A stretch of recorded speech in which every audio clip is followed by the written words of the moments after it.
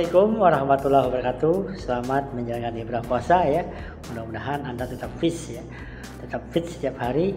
Nah, hari ini saya akan membahas tentang empat tips ya yang mengatasi Anda lemas saat menjalankan puasa ya. Apa saja yang mestinya Anda lakukan agar Anda tidak lemes ya saat berpuasa. Oke, sebelum lanjut jangan lupa di-subscribe, bagikan kepada teman-teman Anda agar mereka juga mengetahui apa-apa info-info hari ini seputar uh, puasa ya. Nah berpuasa sih bukan berarti kita harus lemes ya dan lesu sepanjang hari. Ini tentu kita tidak berharap ya. Kita bisa lihat ya olahraga, olahragawan yang muslim misalnya Mesut Ozil atau Paul Pogba dia tetap berolahraga tidak merasakan lemes ya dalam berpuasa. Jadi kita berharap kita juga jangan lemes ya bisa.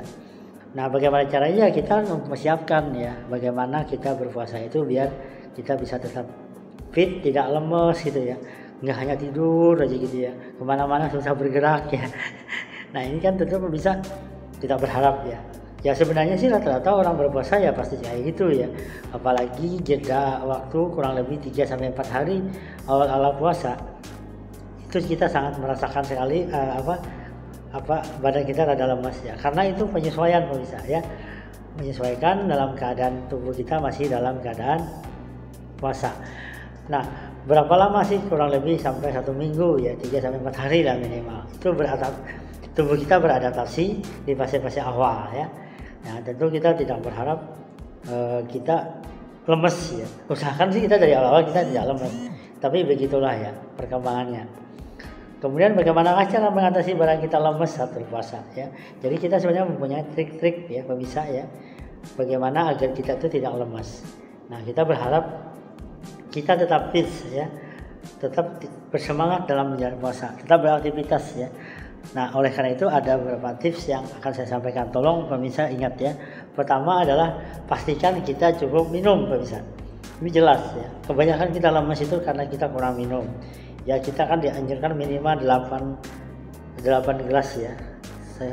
Selama sahur dan berbuka ya.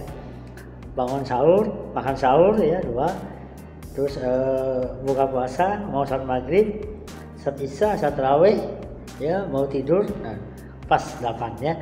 Nah ini harus kita cukupin mana perlu lebih tinggi lagi. Ya dengan cara apa? Kadang-kadang kita mengkonsumsi dari air yang ber, apa dari kuah makanan ya. Sayuran yang berkuah ya itu juga meningkatkan cairan pada tubuh kita. Dan makin sering kita minum air putih itu makin bagus.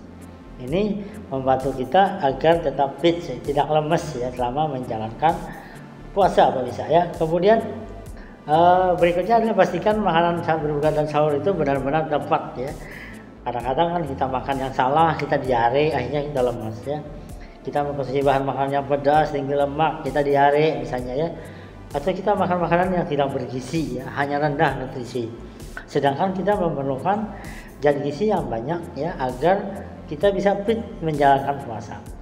Nah kita harus benar-benar memperhatikan yang kita makan ya misalnya kita makan sahur yang cukup ya tidak kurang ya kemudian mendekati saat imsak ya ada sayur-sayuran dan buah-buahan ya kemudian juga banyak cairan ya kemudian beberapa bahan makanan yang bisa mendukung kita menjadi lebih sehat. Kita hindari bahan makanan yang berbahaya yang pantangan ya yang berlemak tinggi yang membuat kita mungkin berisiko terkena penyakit ya.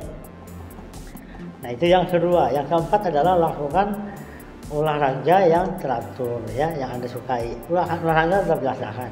Anda bisa lakukan bisa pagi hari sebentar atau mendekati berbuka puasa ya. Anda bisa lakukan jogging ya sit up dan lain-lain yang ini akan memberikan anda kebugaran ya. Nah olahraga yang teratur itu membuat anda lebih bertenaga serta beraktivitas terhindar dari lemas selama berpuasa ya. Bagaimana caranya? Anda bisa perhatikan jenis olahraga jogging ya, lari-lari kecil ya, kemudian sit up atau yoga ya, dan banyak lagi olahraga yang tidak memerlukan eh, aktivitas yang tinggi ya.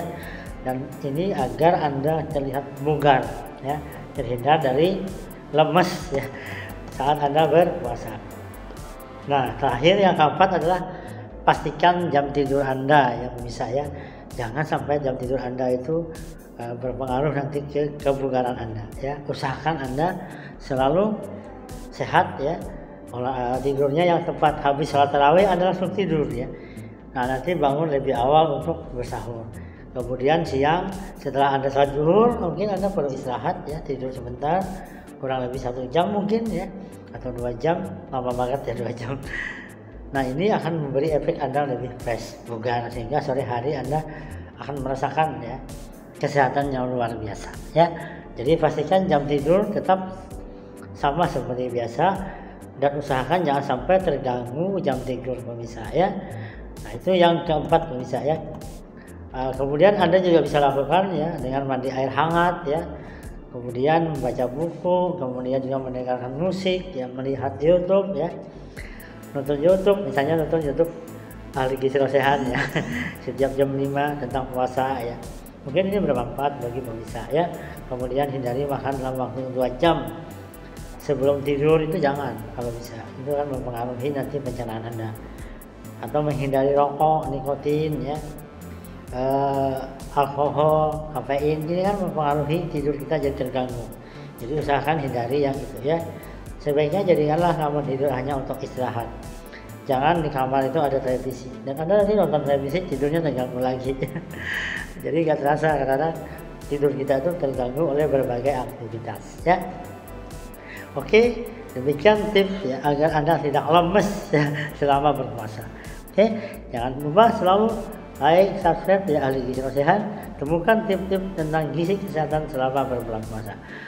Oke, assalamualaikum warahmatullahi wabarakatuh.